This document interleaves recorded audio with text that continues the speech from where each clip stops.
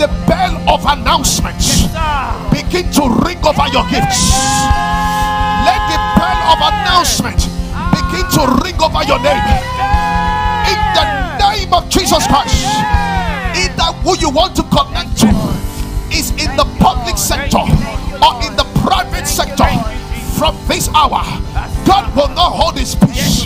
His voice will begin to suggest your name. He will suggest it what they are thinking.